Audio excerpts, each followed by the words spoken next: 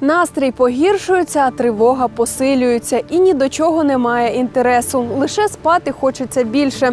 Тож що такого відбувається восени з нашим організмом? Дізнаємося у експертів.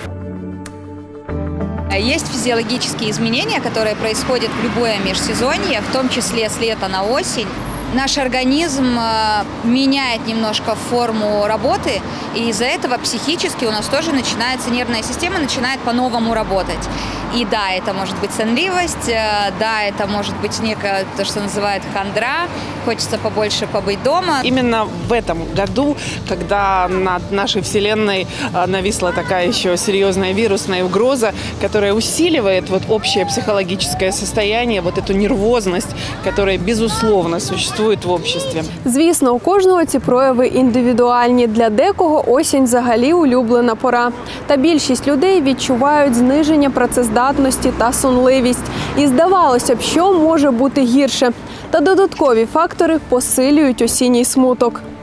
День рождения действительно это дополнительный фактор. Где-то за неделю до дня рождения э, мы погружаемся в какие-то размышления и какие-то новые ощущения, э, Которые вот как будто бы перед рождением мы снова пересматриваем нашу жизнь, которую мы проживали, и это некий переломный такой кризисный этап. И в день рождения опа и отпускает. И осенью действительно у людей это чувствуется. Зимние, осенние люди, вот весенние, летние как-то почему-то поменьше.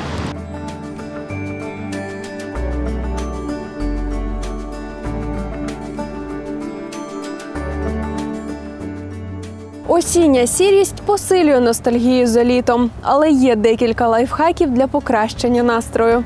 У нас есть возможность бывать на солнце. Избегая людных мест, но тем не менее старайтесь по возможности, как только появляется момент, выйти на балкон и подставить лицо солнцу.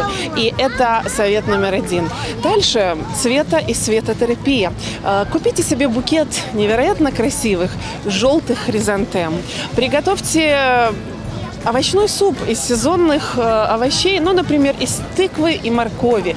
И это непременно создаст для вас не только серьезную иммунную защиту и простимулирует защитные силы, но и добавит настроение. книги доставать, которые не прочитаны за лето, потому что, потому что было море, было развлечение.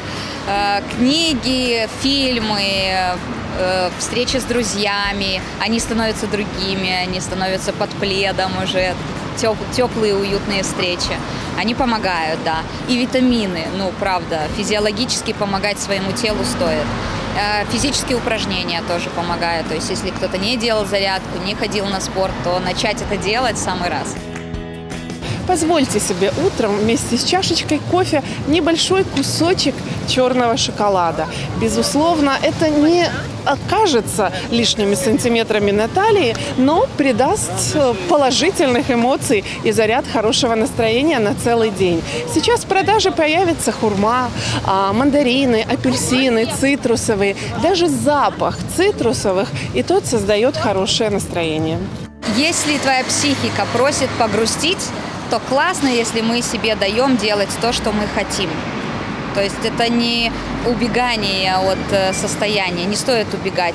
Общайтесь с вашими животными, ведь э, четырехлапые наши друзья, братья наши меньшие, э, когда мы их гладим, когда мы входим с ними в контакт, они бесконечно рады общению, и это не может не создавать вот такое дополнительное состояние положительного, хорошего настроения.